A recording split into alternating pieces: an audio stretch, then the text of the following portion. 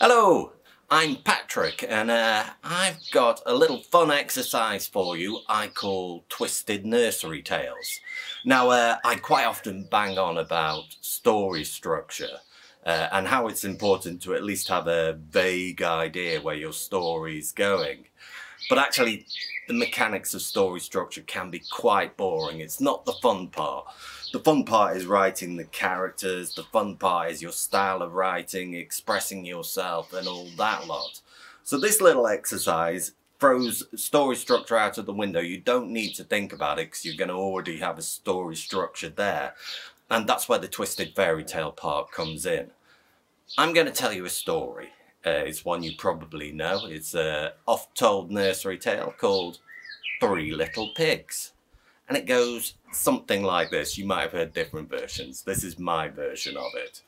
So there was once upon a time three little pigs who lived with their mum. And then my mum one day, for whatever reason, said, you've got to go and make your own way in the world. So the three little pigs go off and they've got nowhere to live and they're walking down the street and the first little pig comes across some hay and uh, he's not the sharpest knife in the drawer and he goes, I'm going to make a house out of hay. So he does. But then a big bad wolf comes along and the big bad wolf wants to eat the little pig in his house of hay. So the big bad wolf says, little pig, little pig, let me in. And the little pig says, not by the hair of my chinny chin chin. And then the big bad wolf says, all right, well, I'll huff and I'll puff and I'll blow your house in. And then he does. And then he eats the little pig. Now, the second little pig is still going on down the road and uh, he comes across some twigs and goes, I'm going to make my house out of these sticks. Much better than hay. Uh, also not the sh sharpest knife in the drawer. So he makes his house out of twigs. And then the wolf comes along and he goes, uh, little pig, little pig, let me in. And the little pig goes, not by the hair of my chinny chin chin. And the big bad wolf goes, all right then, I'll huff and I'll puff and I'll blow your house in. And he does. And then he eats the little pig. Now the third little pig, who was waiting for something better than twigs and hay, comes across a pile of bricks from somewhere. I don't know where. It's probably stolen off a building site or something. But anyway, he decides to make his house out of bricks. Much more sensible. Much harder to blow in. So he builds his house, the wolf comes along and says, little pig, little pig, let me in. And uh, the little pig goes, not by the hair of my chinny chin chin. And then the wolf goes, I'll huff and I'll puff and I'll blow your house in. And then he does not blow the house in because it's made out of bricks. Right, so the Three Little Pigs story, we're going to use that as our story structure. Now, obviously, there's not much uh, in the way of character there there's three little pigs and they're just three little pigs. There's Mummy Pig and she's just Mummy Pig. And then there's the big bad wolf who's just a big bad wolf. We don't really know a great deal about these characters or anything. But you're going to rewrite your version with all that in. And uh, this is where the twisted part comes to it. So, you can take the characters and you can make them good, you can make them bad. You can make the mum evil, you can make uh, little pigs good, you can make the little pigs horrible and the mum really good. You can do whatever you want to the story, but you can write it in your own style, adding your own characters. Now I'm going to start off my version of Three Little Pigs and this time I'm going to do it in a, a comical fashion because I quite like writing comical stuff. But I'm going to take the basic structure of the Three Little Pigs, make it funny, but I'm going to decide that the pigs are horrible. They're horrible little pigs and there's a good reason why the mum kicks them out and makes them move somewhere else.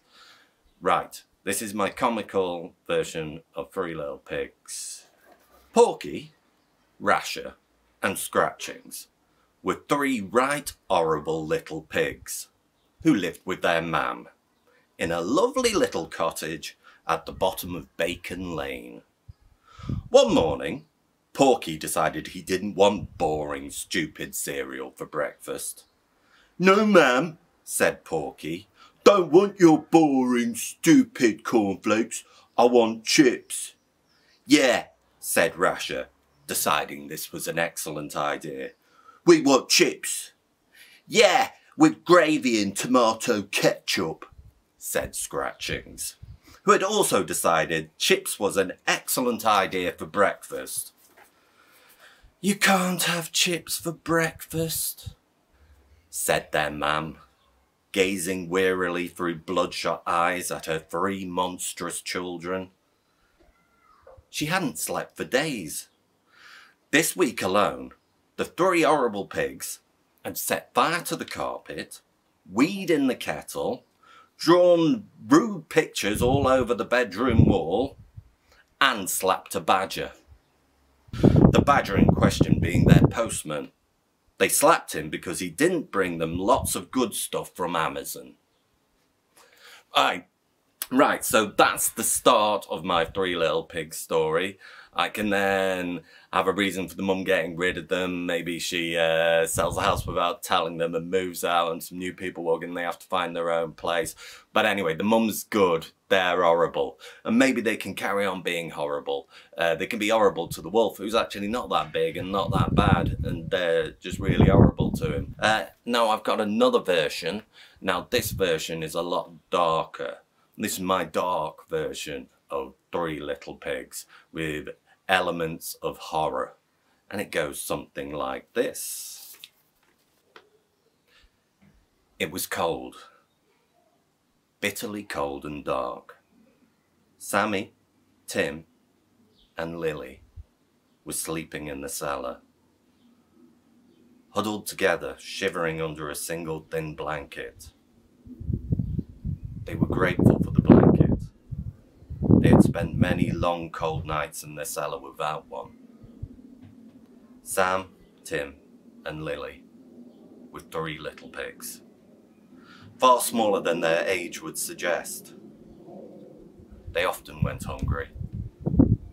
They only ever ate what few scraps were left after their mother had already eaten. So, that's a dark version. You can carry that on and the mother kicks them out because she's horrible. And then maybe the big bad wolf is a sort of horror movie sort of wolf. So it's not the little pig, little pig, let me in. It's a howling across moors that they hear. And they're running, trying to escape. First pig, he, he finds some bales of hay and he just hides in them and but the wolf gets him next one etc you can go as dark as you like uh, no i don't want you to copy the ones that i've just done i want you to come up with your own ideas your own take on the pigs your own take on the mum your own take on uh, the wolves, but you can make it as twisted as you like. Have fun with it. Uh, use the story structure that you've already got set there from Three Little Pigs and uh, write something really fun. Hope you enjoy it.